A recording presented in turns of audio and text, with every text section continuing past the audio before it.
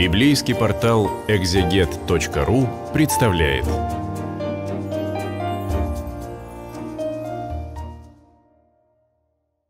Здравствуйте! Мы продолжаем читать книгу Иисуса Новина для библейского портала экзегет.ру. Третья глава повествует о переходе Иисуса Новина и всего Израиля через Иордан. Переход чудесный, не менее чудесный, через, чем переход через Красное море после исхода из Египта. Иордан а, в древности представлял собой не такое жалкое зрелище, которое он представляет собой сегодня.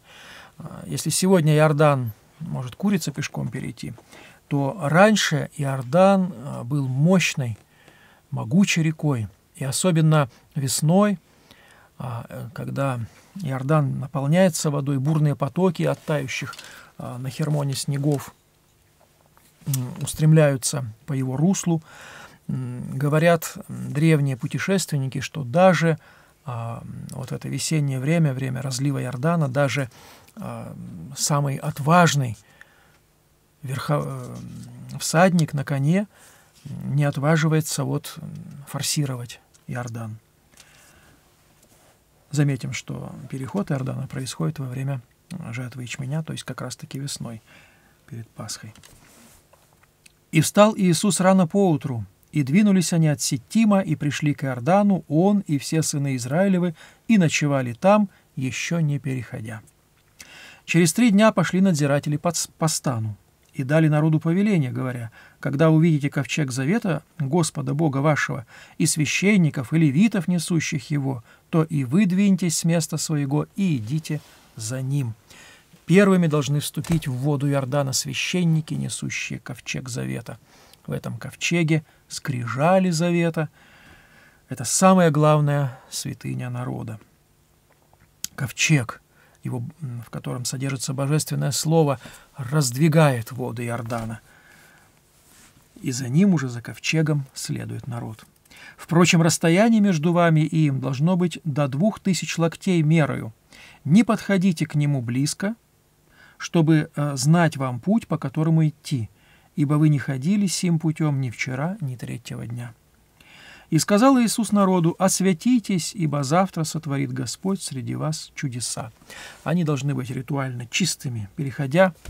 А, переход Иордана здесь, и вступление в землю ханаанскую, представлено как некое священное действие. Впереди ковчег, народ очистившийся, народ э, освященный, народ, э, готовый к завоеванию этой земли, шествует вслед за своей главной святыней, ковчегом Завета, в которой хранятся божественные словеса, в котором хранятся скрижали Завета.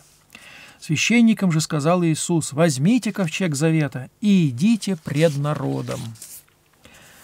Они взяли ковчег Завета и пошли пред народом священники выполняют повеление Иисуса Новина.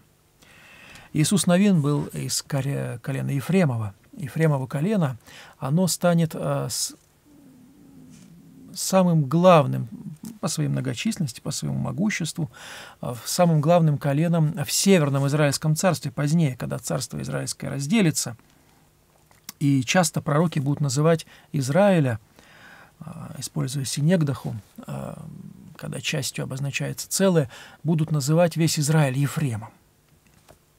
Ефраим – самое могущественное, самое сильное колено Израиля. Э, Израиля.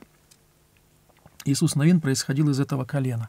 И вот он, как вождь, как э, преемник Моисея, как э, тот, через кого действует и говорит Господь, он здесь имеет право командовать и левитами, и священниками, что он и делает, а те с охотой и беспрекословия подчиняются своему вождю.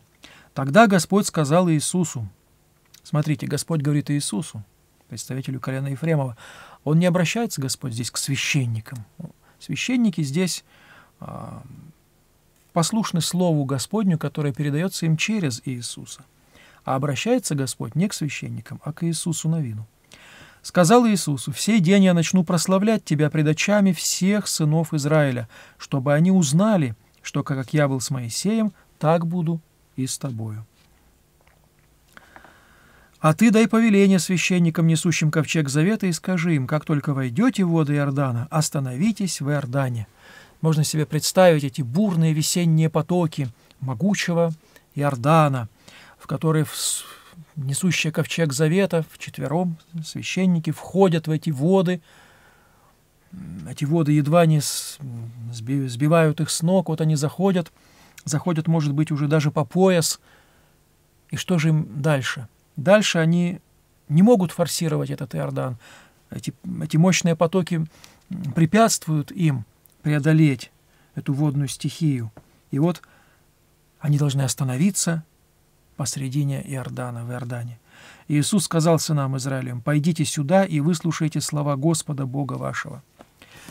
И сказал Иисус, «Из всего узнаете, что среди вас есть Бог живый, который прогонит от вас хананеев, и хитеев, и ивеев, и ферезеев, и гергесеев, и амареев, и иевусеев, семь хананейских, хананских народов.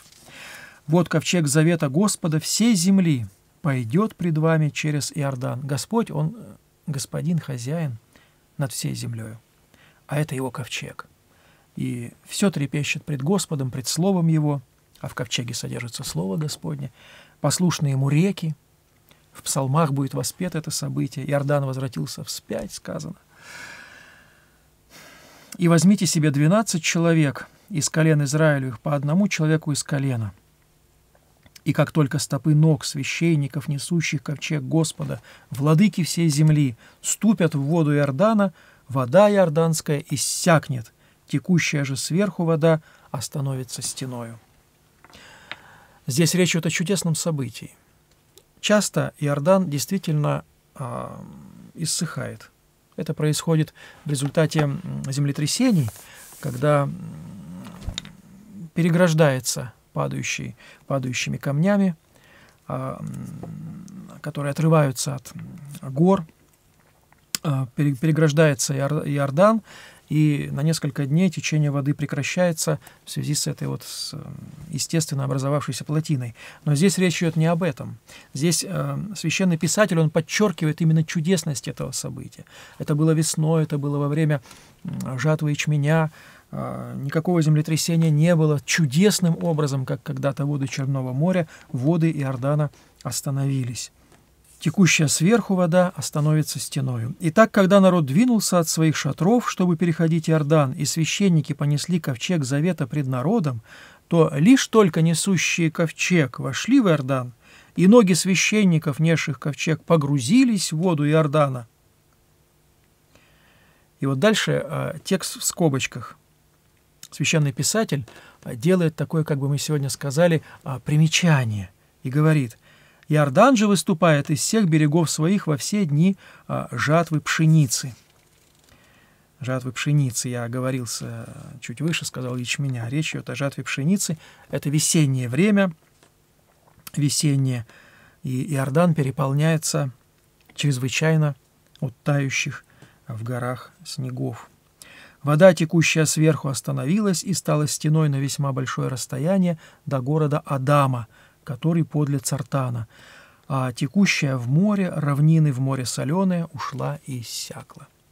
Соленое море Ямамелах — это мертвое море, в которое впадает Иордан.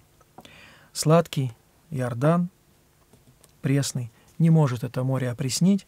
Это море в Библии называется соленым, оно вечно соленое — с тех пор, как Господь разрушил нечестивые города Содом и Гамору, это море безжизненное, в нем нет жизни, в нем соль, в нем а, такое содержание соли, что и утонуть невозможно, и жизни в его глубине, в глубине этого моря нет. Оно называется соленым. Римляне позднее назвали его мертвым, но в Библии оно называется соленым. И вот произошло это чудесное событие, вода в Иордане иссякла, а, сверху вода стала стеною, а ниже по течению от ног священников, несущих ковчег, вода иссякла и ушла в соленое море. Дно Иордана обнажилось, и народ шагнул через эту границу Святой Земли в ту землю, которая ему была обещана Богом. И народ переходил против Иерихона, священники, женевшие ковчег Завета Господня, стояли на суше среди Иордана твердою ногою. Все сыны Израилева переходили по суше, доколе весь народ не перешел через Иордан. Израильский народ здесь прообразует собой церковь.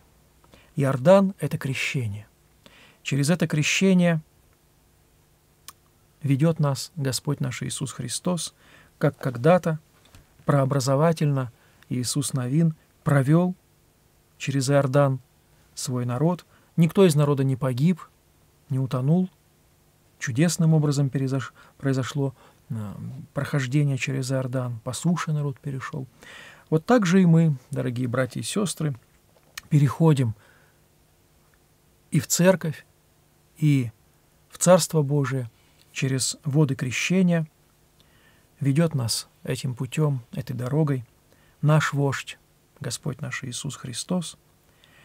И древняя история, события, связанные с завоеванием Ханаана, события, произошедшего во времена Иисуса Новина, повторяются уже в нашей жизни, повторяются в Новом Завете.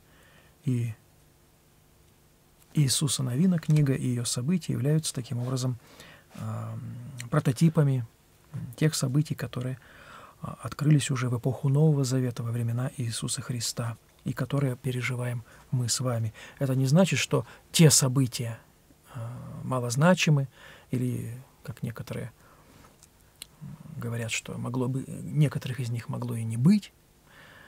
Нет, они, эти события были, они чрезвычайно значимы в домостроительстве нашего спасения.